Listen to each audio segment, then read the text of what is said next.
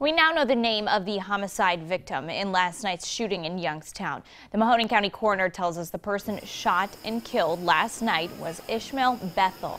Police say the 25-year-old and a 16-year-old girl were shot around 9 last night. It happened on the south side on Cleveland Street. The girl was taken to the hospital. She is in stable condition. The alleged shooter, Trayshawn Turner, was picked up by the U.S. Marshals unit just this afternoon. He is going to be booked into the Mahoning County Jail pending his arraignment.